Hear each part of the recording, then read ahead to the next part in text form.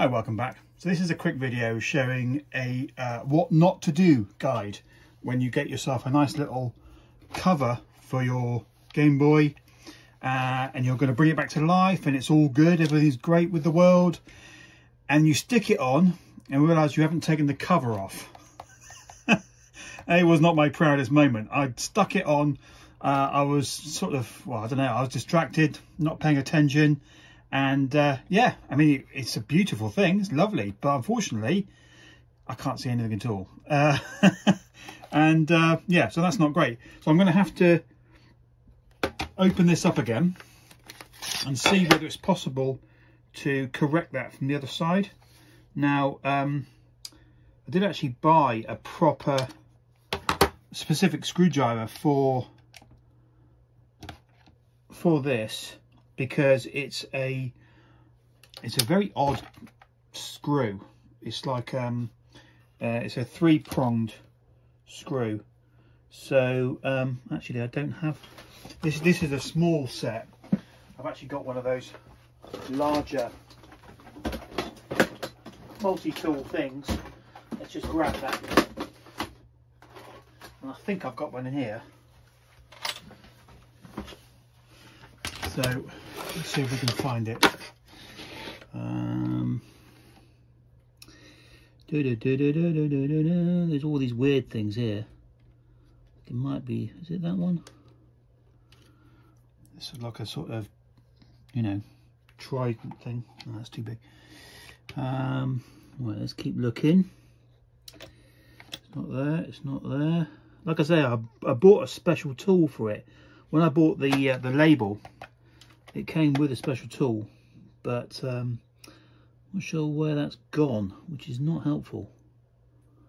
Uh, might be that one there. Yeah this has got three prongs on it. Let's see whether that fits. Yeah that fits. Okay so let's give that some some treatment. Oh that works. So I don't think this Game Boy has ever been opened potentially. Is there one under there as well? Yeah, there is. So it looks like there's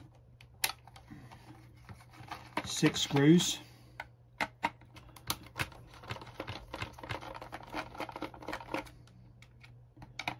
do like this set.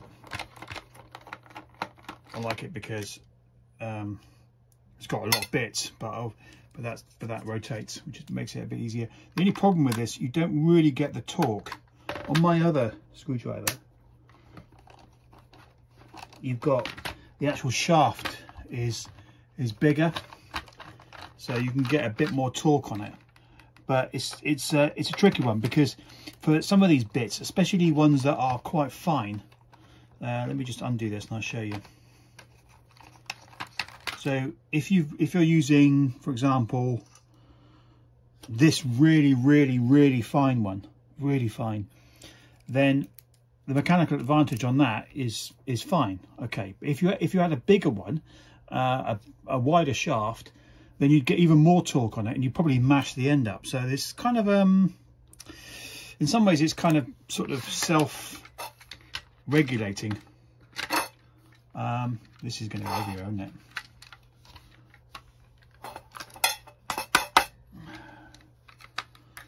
Right, that's those two, and there's three more there. Okay, anyway. So, that's the inside there. I think, yeah, that's just as I as, as I thought. So, what's it? What's inside there is a standard um, crosshead.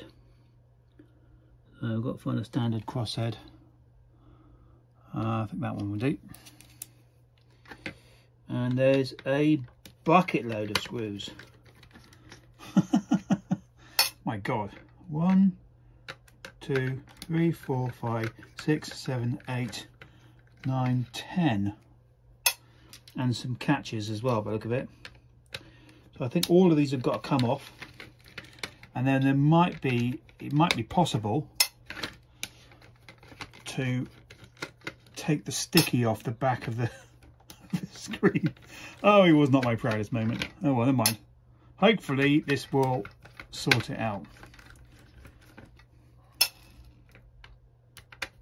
remember when I got this thing, it was fantastic. I mean, it's, it's there's no backlight. It is it's it's mono. Uh, you know, it's in some ways it's not it's it's nowhere near as good as my Lynx in many many ways, but the battery life was amazing. And for long journeys,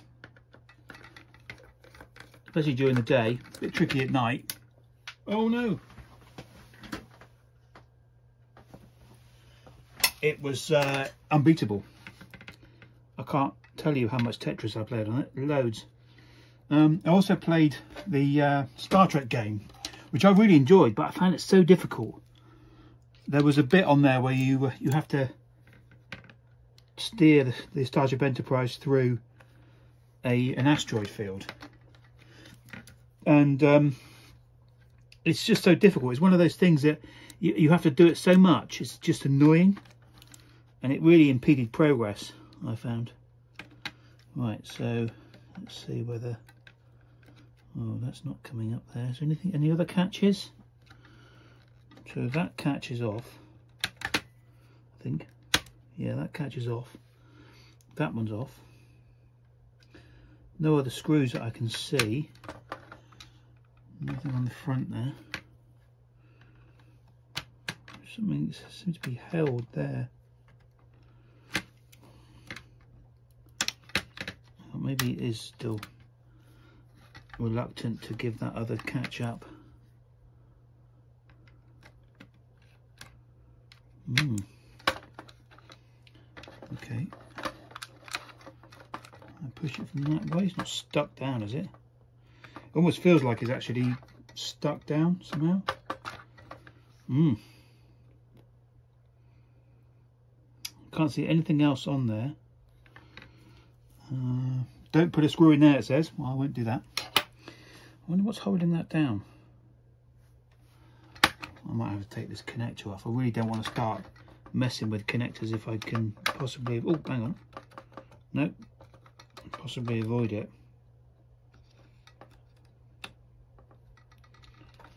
I wonder whether it's that there. That is very odd. There's like two pieces of metal that stick up.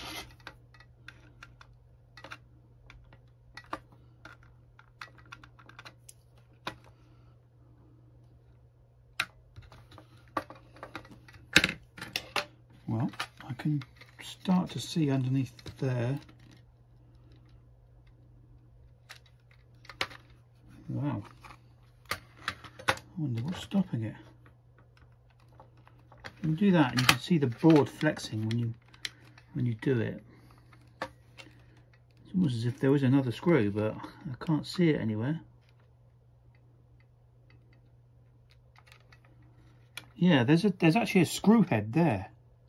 And a screw head there. And one there. Going through the board, but that other way.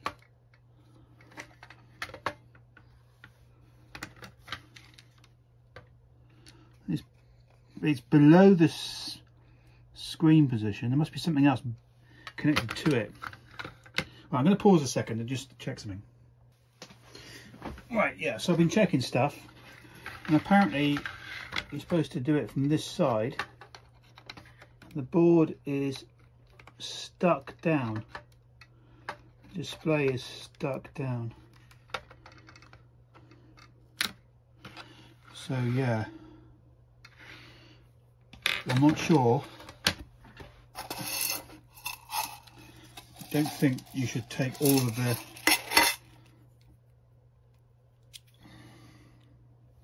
let's put this back. I don't think you should take all of these out. I say that, whoops, can't do that, which. I say that because there's a plastic retainer. So it says E there.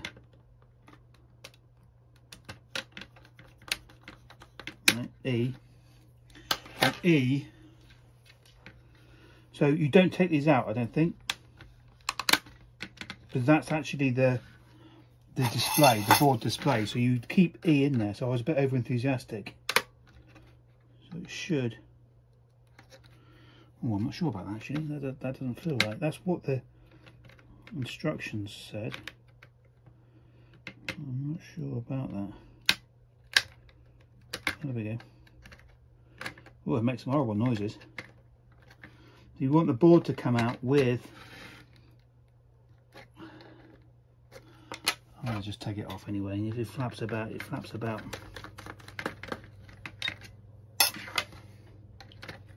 Ah, oh, there we go. There's just a bit of adhesive there. So yeah, patience is the is the key. So there's there's a thing. So that's a useful um, opportunity to clean it. Now, unfortunately, I think I don't think I'm going to be able to get to the adhesive backing. I was hoping I'd be able to get to the adhesive backing on there and scrape it back. But I can push this out. And the buttons go in there. So this was the mistake that I made. I didn't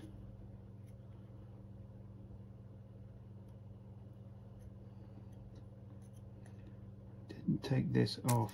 There we go. So that's supposed to come off before you get too over enthusiastic and put the bloody thing on. so yeah, that's a lesson learned. Um, now, I'm going to put that there. I have to wipe this again. So, uh, did I lose any of those? Yeah, I've got a um, a purple button that's disappeared somewhere. There it is. Okay, let's try that again. Now, if I get some very, very gentle tissue,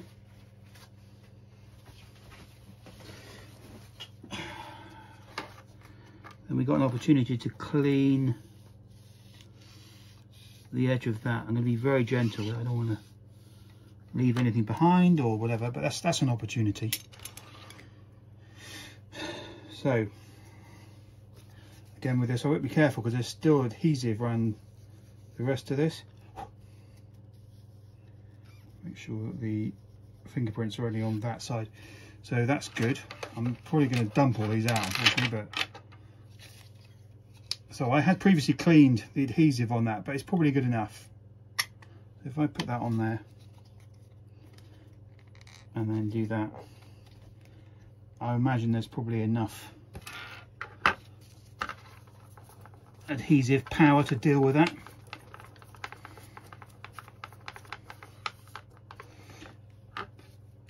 Yeah, that's probably good enough. Okay, good. So now it's a case of, look at that, that's horrible. Now it's a case of cleaning this up.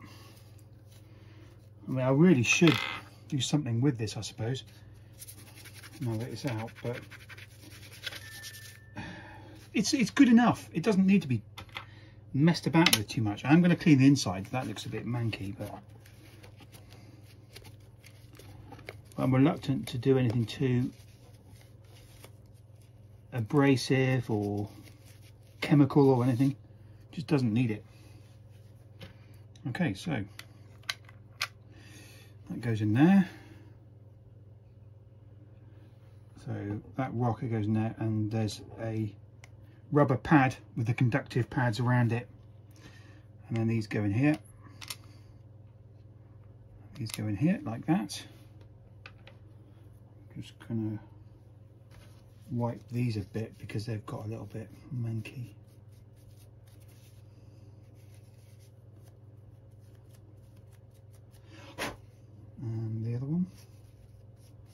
Be very gentle with these because these are quite delicate. Thankfully the um, rubber hasn't perished particularly. So that goes in there like that.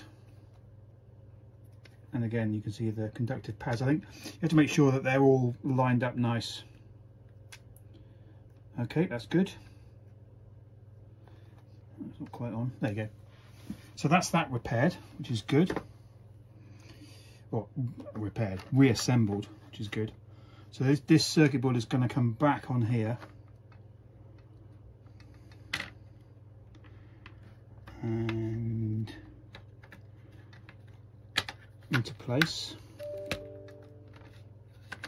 make sure that the speaker is actually also in there. It's got like a keyway and stuff. Um, those down. Okay, good. So now it's a million screws that have got to go back in.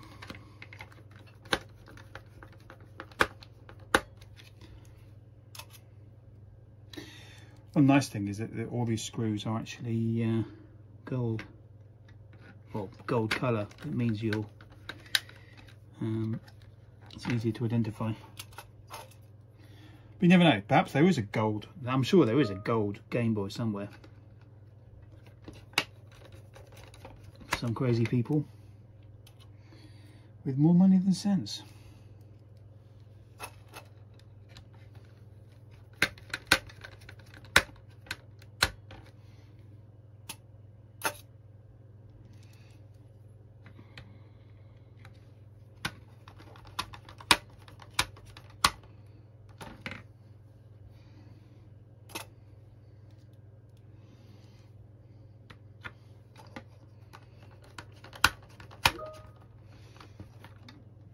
Okay, almost there.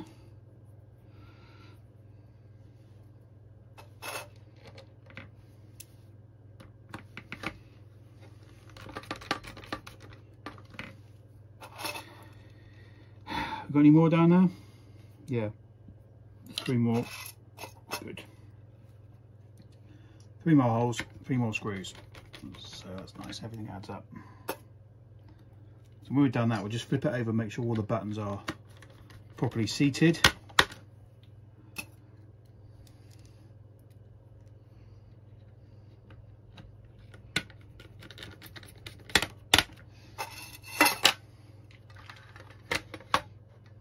Wow, look at that. Fantastic, it's all shiny. Okay, that's good. Okay, it looks good. And now we're back to the peculiar bit. Actually, all these screws are the same. They, they, these ones look to be different, the ones inside the battery case, but no, they're all identical, so that's good. Makes easy.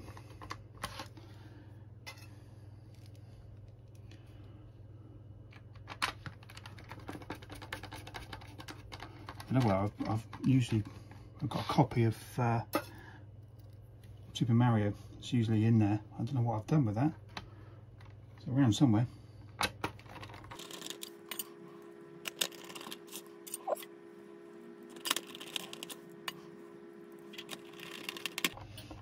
Okay, that's good. Let's get some batteries.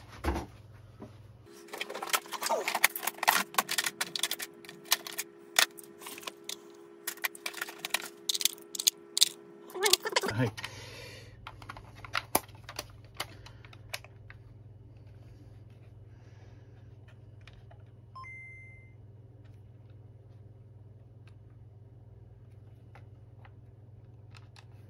Hmm. That's weird. That R is there, but it's not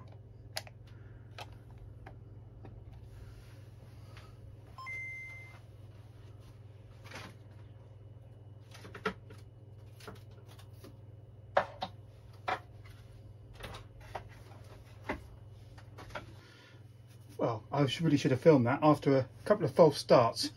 it wasn't actually starting up properly, um, but it is working all right now.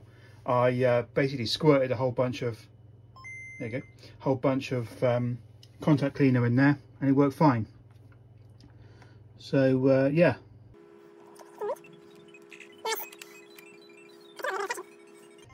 Well, it is quite cool. With this thing, it's um,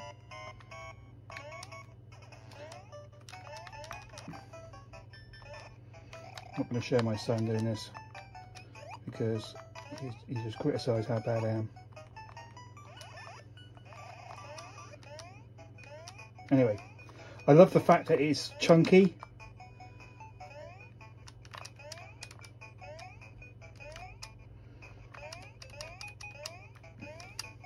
Anyway, get the idea. It's cool. So yeah, if you make the same stupid mistake that I made, then um, you can take it to pieces and um, yeah, because you ain't going to see much like that. But with this, it's actually playable. See you again. Cheers.